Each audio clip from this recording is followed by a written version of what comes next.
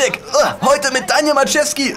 Und Heiko Klinge, du hast offenkundig Schmerzen, wenn du das Spiel siehst, oder? Ja, ich habe gedacht, ich passe mich dem Gestöhne da an. Also selten wurde in einem Spiel so viel gestöhnt und geflucht wie in diesem hier, richtig? Ja, im Spiel und vor dem Spiel. Ich habe das Spiel getestet und bin auch aus dem Stöhnen nicht mehr rausgekommen, weil das wie der Vorgänger so eine richtig schöne Lizenz Ausmerkerei geworden ist. Lieblos inszeniert und äh, viel zu kurz. Vor allen Dingen aus äh, welchem Film, Pirates of the Caribbean Film, ist denn gerade die Szene hier? Also eigentlich spielt es ja jetzt momentan noch im zweiten Teil, da bin ich auf der Insel der Pelegustos, diesen, diesen Kannibalen, aber die Flusssequenz kam mir also auch sehr neu vor. Kommen wir zu der Luftkrieg über Europa 1940, 1945. Äh, Abgesehen davon, dass es den längsten Titel trägt in unserem Testcheck, es ist eine Flugsimulation. Auch das ist mittlerweile selten geworden. Ja, allerdings ist es ja nur ein Add-on. Ja, also man braucht irgendeine IL-2 Sturmovik-Version, genau. um das Ding zum Laufen zu kriegen. Es hat einen riesigen Umfang, das kann man mal so sagen. Sechs Großkampagnen, darunter in D-Day, Luftschlacht über England. Hat man zwar alles noch nie gesehen. Ja, mein Gott, aber ich, es gibt ja da draußen eine ganze Menge IL-2 Sturmovik-Fans. Ja, ja. ähm, es sieht halt aus, wie es aussieht. Es ist nicht mal zeitgemäß, aber ein ganz okayes Add-on ganz anders zu dem hier. Torrente 3, das ist ein GTA-Klon, der auf einer spanischen TV-Serie basiert, wo es auch Kinofilme gibt, die man hierzulande Gott sei Dank nicht gesehen hat. Ja, ich spiele einen alten Sack, der ständig vor sich hinflucht und sich benimmt wie die Axt im Walde. Ja, total. Es, äh, es ist auch. Ähm, es Wir sind in der ab 18 Version. Du kannst es ruhig erzählen. Okay, dann erzähle ich. Ich dachte, ich lasse es jetzt mal bleiben, aber es gibt auch diverse Minispielchen. Unter anderem musste ich unseren Praktikanten André dabei beobachten, wie er auf einer öffentlichen Toilette, also im Spiel, ähm, masturbieren musste. Ja, das sagt alles über dieses Spiel aus.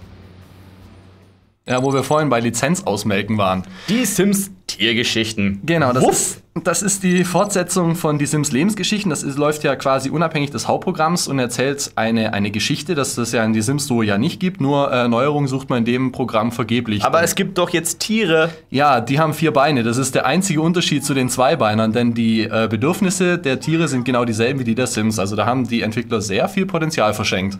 Warum schüttest du da jetzt Müll aus? Soll uns das was über die Qualität des Spiels sagen? Na, eigentlich, ähm, ich wollte eigentlich meinen Hund zurechtweisen, dass er mir ständig die Möbel zersägt und jetzt äh, macht er sich über meinen Müll her. Naja, gut, okay.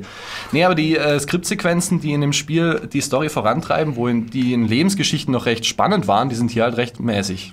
Okay, also muss man nicht spielen. Selbst nee. als Sims-Fan. Ja, die, selbst die sollten vorsichtig damit sein. Ooh, Kommen wir zu UFO Extraterrestrials. Ich schlaf jetzt mal. Na, meine Zunge geht noch. Och, schlafen musst du gar nicht. Die Grundidee finde ich eigentlich toll. Ich habe ja ein Herz für Klassiker aufwärmen. Und das ist tatsächlich mehr oder weniger eine 1 zu 1 Umsetzung des ersten UFO-Spiels. Mhm. Anfang der 90er, UFO Enemy Unknown. Heißt rundenbasierte Kampfsysteme, heißt Crew-Management. Sehr komplex. So weit, so gut. Aber es sieht eben aus, wie es aussieht. Damit könnte ich noch leben. Womit ich nicht leben kann, ist die grottige Bedienung, die völlig umständlich ist, völlig wirr ist. Und das hat das Original wesentlich besser gelöst. Also ich bin da absolut enttäuscht. Ich habe mich eigentlich drauf gefreut. Ja, ich bin eigentlich kein Grafikfetischist, aber hübscher könnte schon aussehen, so wie das hier zum Beispiel. Arena Wars Reloaded ähm, ist im Prinzip, wie der Name schon sagt, äh, ein äh, wieder aufgewärmtes Arena Wars. Das war ein kleines, aber feines Echtzeitstrategiespiel, ich glaube, was vor ungefähr drei Jahren erschien, von einem kleinen deutschen Team. Mhm. Äh, legt den Fokus komplett auf Multiplayer. Aber das macht es fantastisch. Es gibt kurze, actionreiche Schnachten, trotzdem enorme Spieltiefe. Es gibt Voice-Chat und äh, Webcam-Support. Das heißt, ich kann genau sehen, wenn mein Gegner ja. sich ärgert. Das ist super. Und es gibt eine voll integrierte Unterstützung der äh, ESL-Liga. Also wenn man im Spiel ist, kann man gleich die ganzen Punktewertungen dort abrufen und jede Partie wird dann auch automatisch oh, gewertet. Das ist spannend, so ein bisschen Trackmania United im Echtzeitstrategie-Genre. So ein bisschen. Es geht in die Richtung. Äh, Haken an der Sache, es gibt so gut wie nichts für Solospieler. Man kann also nur äh, gegen die KI spielen, die, die allerdings ausgesprochen gut reagiert. Aber ja, ansonsten gibt es auch nicht viel Neues. Diese Gebäude hier, aber das war's auch schon. Ja, ein Marvel Trading Card Game. Will man sowas am PC spielen?